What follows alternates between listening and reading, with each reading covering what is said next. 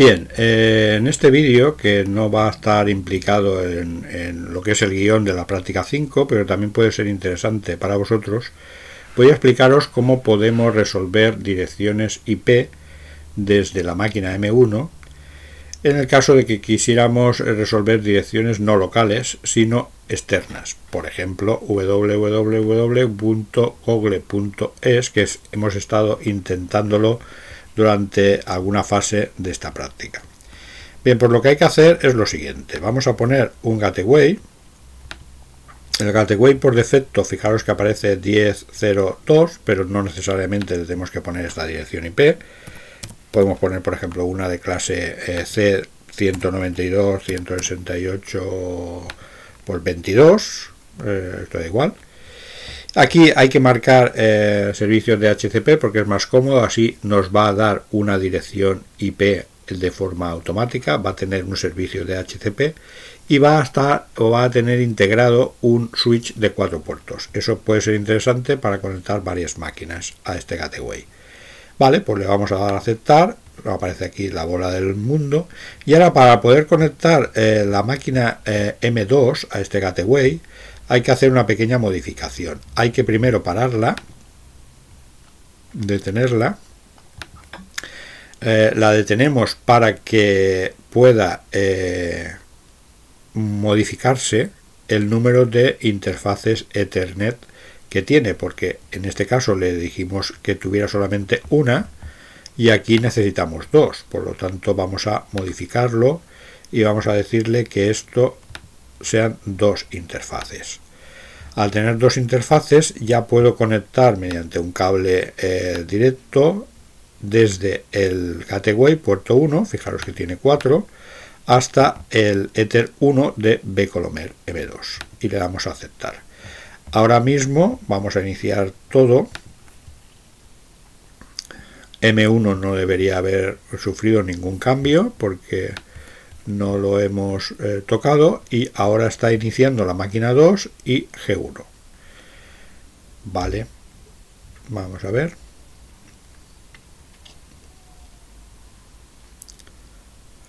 Vale. Vamos a colocar root. Vamos a colocar root. Evidentemente lo primero que tenemos que hacer es eh, eh, volver a reiniciar el servidor en este caso va a ser etcétera bueno, como, siempre perdón etcétera init.d eh, bin 9 bueno start ya lo hemos iniciado no ha dado ningún error perfecto. Vamos a ver si ha cambiado seguramente sí el etcétera eh, resolve resolve.conf esto conviene hay una opción para meter esto dentro del, del fichero de interfaces pero eh, como es rápido lo vamos a hacer aquí para no tener que volver a, a reiniciar lo vamos a hacer así y vamos a poner name server aquí podemos poner su propia dirección 192.168.1.2 control O. Control X. Vamos a comprobar que efectivamente también tenemos M1 no ha habido ningún cambio. Vamos a ver. No debería haberlo habido. Ahí está. Vamos a comprobar también que sigue eh, resolviendo direcciones tanto inversas lo veis eh, podemos poner la suya propia, también lo hace. Vamos a poner, por ejemplo, eh, nombre totalmente calificado. Vamos a poner el B Colomer M2.vlan VLAN a ver si lo escribo bien VLAN 1.local y efectivamente también lo resuelve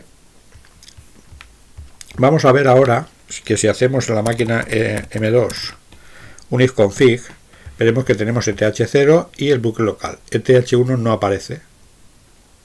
Si ponemos el ifconfig ETH1, veremos que sí que está, pero sin configurar.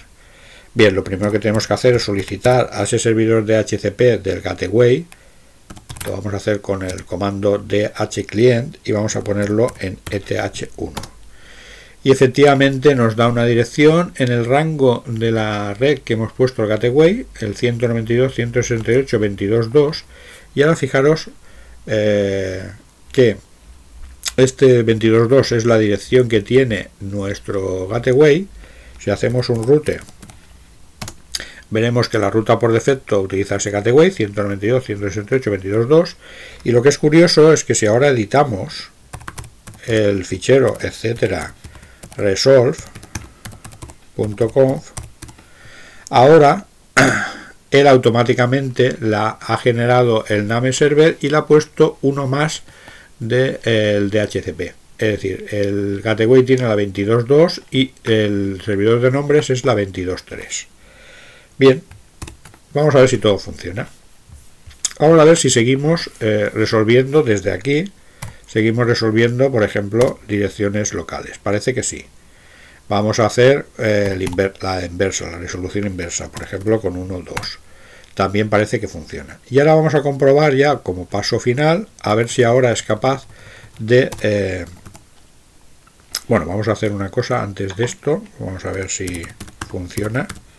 Vamos a ir a Wirechat, vamos a poner ampersand, eh, vamos a iniciar la captura. Vale, perfecto, vamos a hacer la captura en ETH0. Eh, vamos a iniciarla, vamos a dejarla por aquí. Y vamos a intentar una cosa que no funcionaba antes que es en ese look www.google.es y efectivamente fijaros que ahora sí que ha resuelto la dirección externa de internet ¿por qué lo ha podido hacer? porque a través del gateway se ha conectado a nuestro anfitrión y ese anfitrión al tener conexión a internet ha podido contactar con los servidores de, nombre, de nombres externos y por lo tanto ha podido eh, resolver esa dirección IP. Fijaros que en este caso www.google.es pues tiene la 172.217.17.3. La, el nombre totalmente calificado, si lo repetís en la ejecución varias veces es posible que os dé un nombres diferentes. Tiene bastantes direcciones, eh, ves aquí que ha dado otra diferente.